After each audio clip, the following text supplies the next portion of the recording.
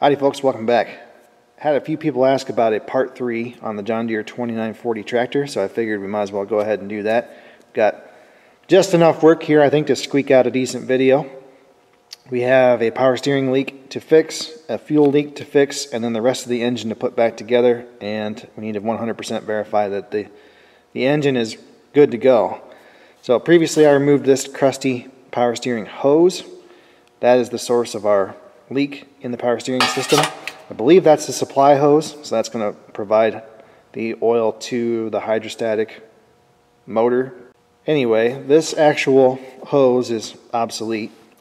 Now to me it has some pretty strange fittings. It has these uh, kind of external O-ring fittings and some kindly European viewers pointed out that these are DIN hydraulic fittings.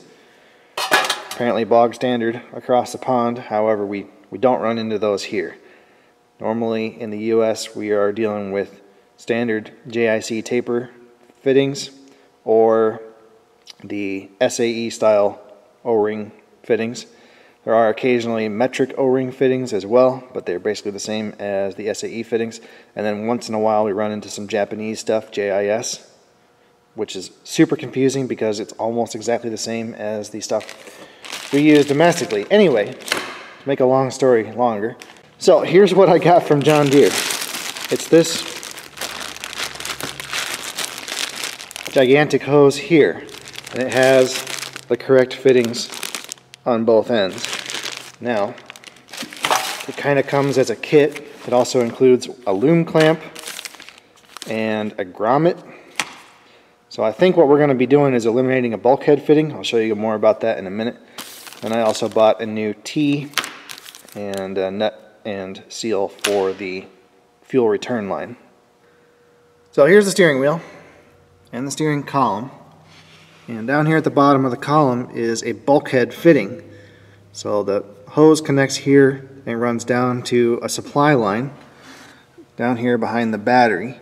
And then that little short hose that I showed you guys that was all broken up connects on the inside of the steering column to the opposite side of this bulkhead fitting and then runs up to the hydraulic motor which is right about here. Anyway, I think what's going to happen is the kit that we bought is going to eliminate this bulkhead fitting and then that's where the grommet comes into play. So the grommet's going to go in that hole and then we're going to basically eliminate this line and the crusty line that we, we had the problem with. So we're going to have to tear this all apart all the way down, way down here underneath where the batteries are. So, of course my light, of course my light's going dead. Anyway, this is pretty, pretty greasy. Uh, I don't think I can run it like it is to, to take it outside and pressure wash it because as soon as we start the tractor we're going to have oil everywhere. That's a, that's a main supply line. Okay, I'm trying out an external microphone. You guys will have to tell me whether or not the audio is better. It's never going to be good because the shop's basically just you know an empty square box, so it echoes really bad in here. Anyway, this is the hose we got from the dealership. It has the female DIN fitting on both ends. It is in fact made in Germany. But it's not going to work because the other end of that hose that I took apart has a standard 37 degree flare JIC fitting. So this is a dash 6 9 16 18 thread and it obviously isn't going to work with this metric hose. So we need an adapter.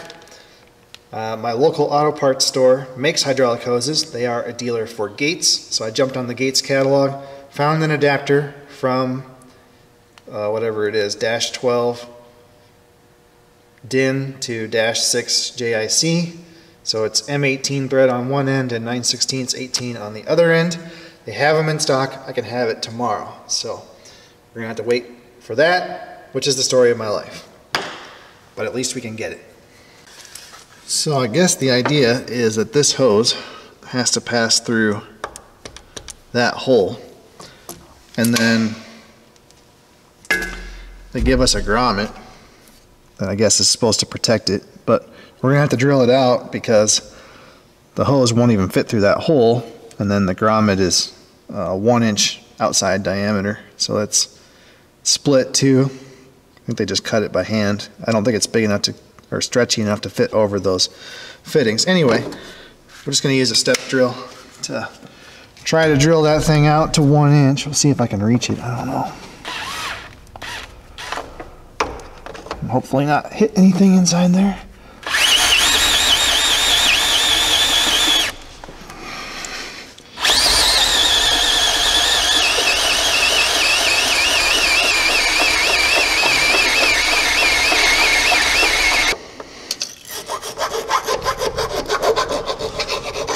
Yeah, that's gonna work. Be sure to comment that I'm using the file wrong. That's always fun to read.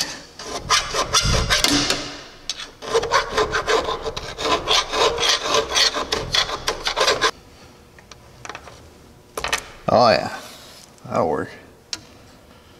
So, I wonder how we're gonna get that grommet in there. Do do, how tight does it fit on the hose? Yeah, it's got a little slop.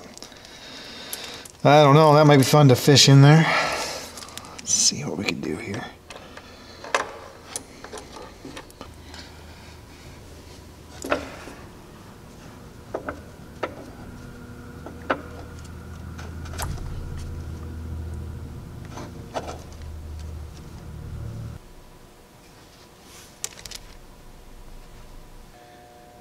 Okay, I think we're in business.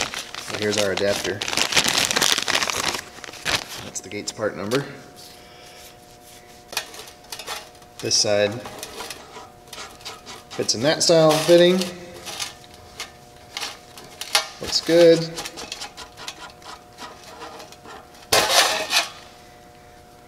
And then this goes. Awesome. I wonder what the John Deere dealer would have done about that. I didn't even bother to ask. Well, can you guys see this? Probably not. Here we go. So there's our connection to the transmission.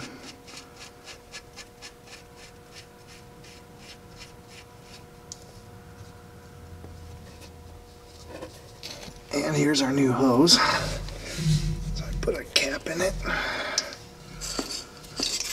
And we'll blow that off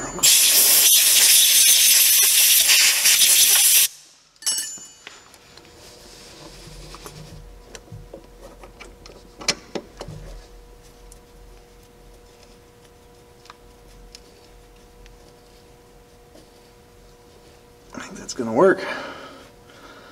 Good deal.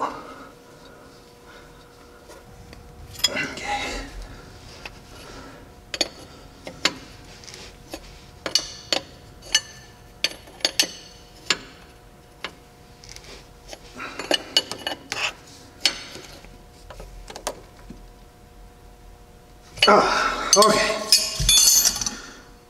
Awesome. Oh boy, how much of a mess is this going to make? Probably a lot.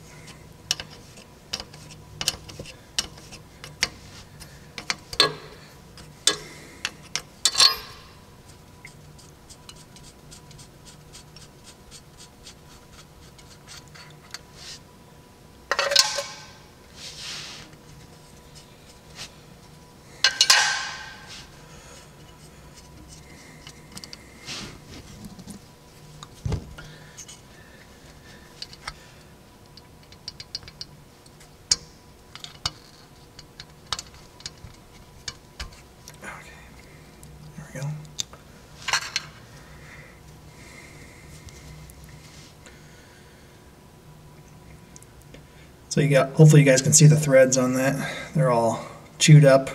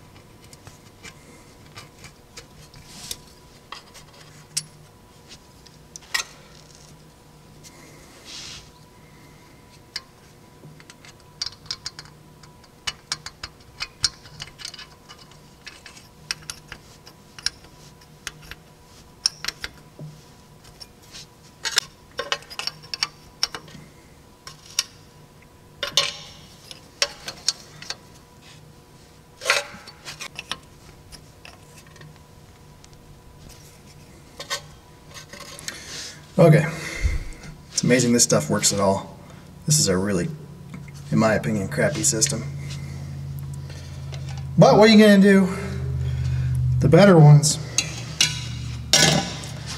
I think the better ones is like what Cummins or Mack does, where they have the, they just have this press-on style of hose, flexible hose that runs from injector to injector. Those don't ever give trouble. Dad, What's wrong, Hot Rod? I need. Max up. Papa, go. Um, me, me, I want to have one. I want to have one. No.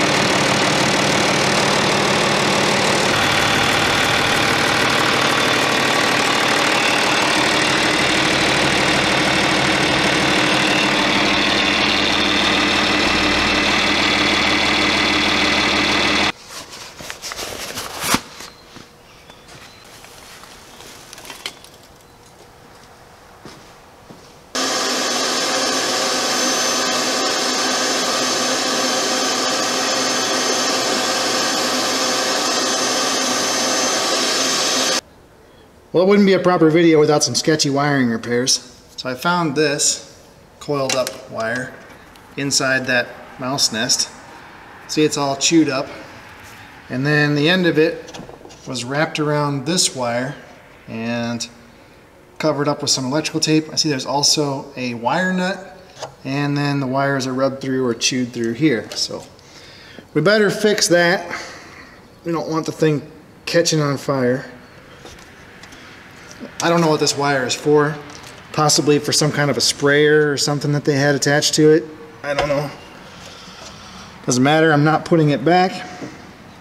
We're just gonna fix this wiring. Put it back like it's supposed to be. Or at least how I think it's supposed to be.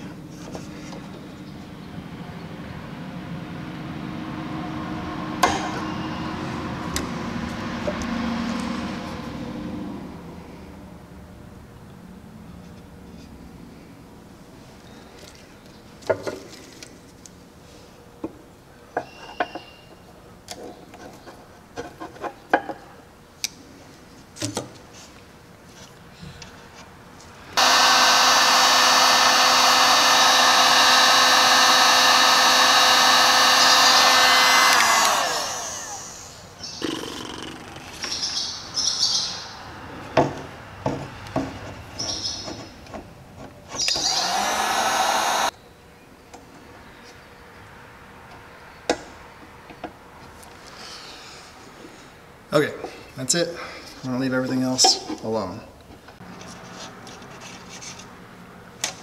So I'll just leave this wire coiled up in here, and if he wants to put it back, he can. I'm not doing it.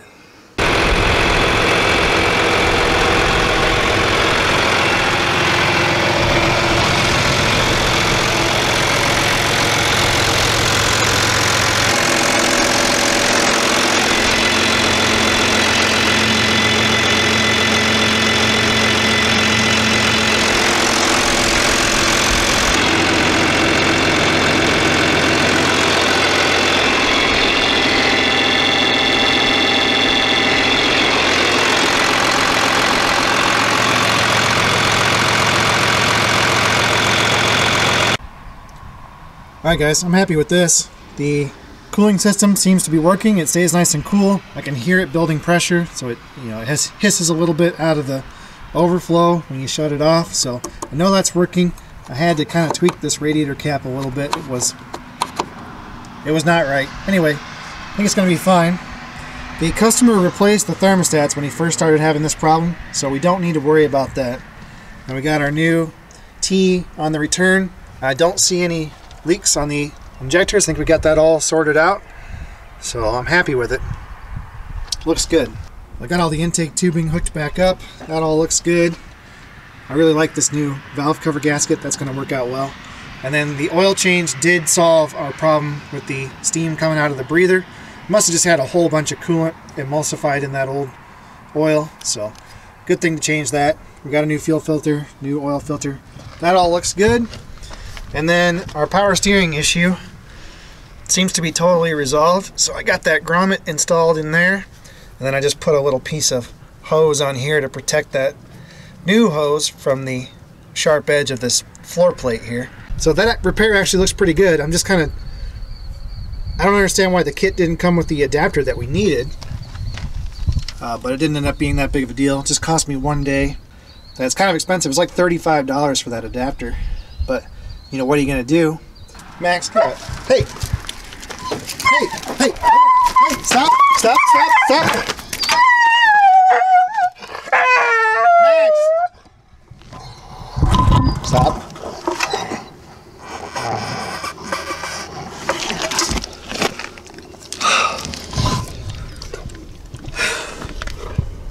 Dog, you scared the crap out of me. Are you okay? Jeepers. He got his head stuck in the between the bumper and the tire in here. He's trying to sniff for something. Hey, how about you don't do that again, huh? I don't know if I had the camera on or not.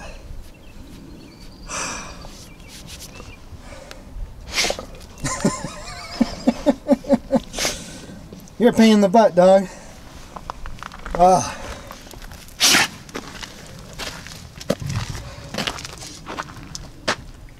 Don't do that again, okay? This thing just starts and runs perfectly.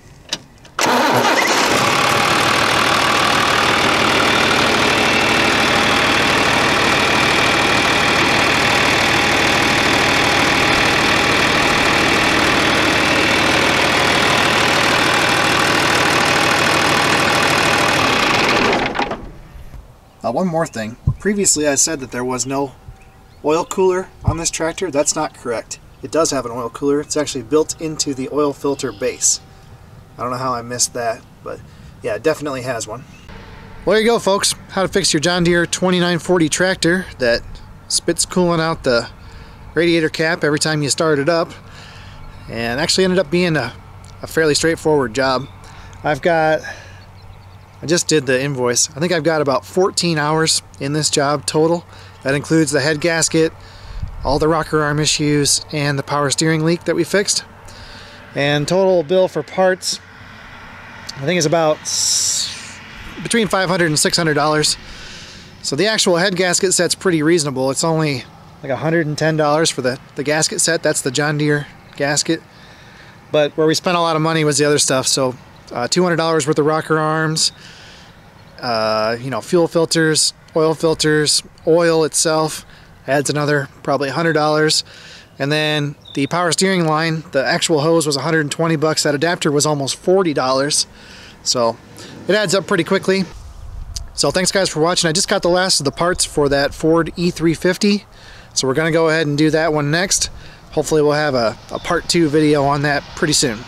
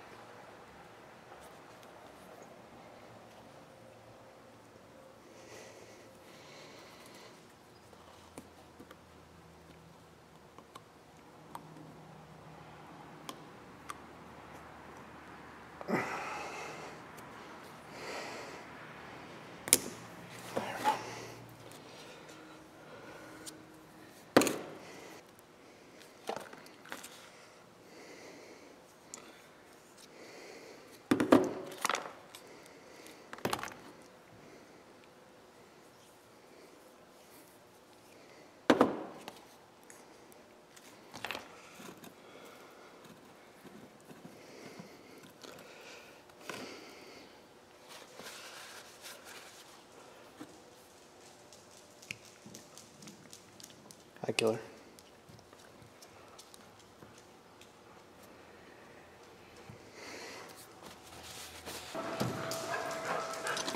Hey, lady, Hey, are you recording? we're supposed to be not talking. Oh, I'm doing an experiment with a repair video where I don't have any narration or commentary. oh. Uh, well, to be fair, I walked in here and didn't say anything. You talked to me first. I think it'll be super weird, but people still are convinced that I talk too much, so this is gonna be the proof. I get paid money to talk. It's pretty cool. To children? Yeah, they don't listen, so. But now, a lot of them are wishing that they did have me to listen to. Alright, I'm gonna go grade finals. Have fun.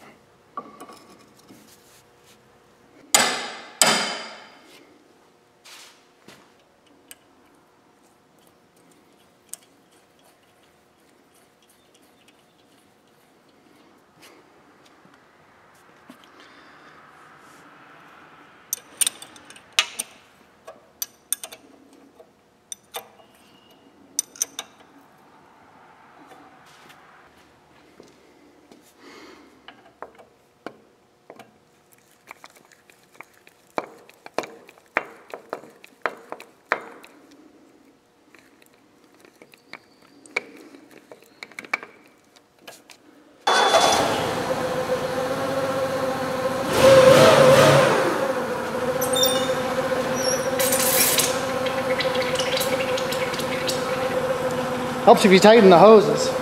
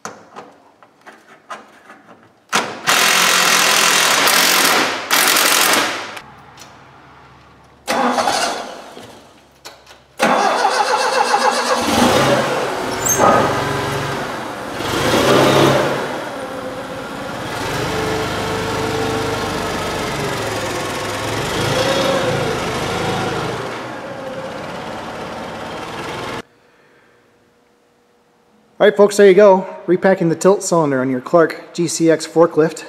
You guys tell me if that was pointless or if it was the nirvana that the whiners have made it out to be. Anyway, thanks guys for watching. See you next time.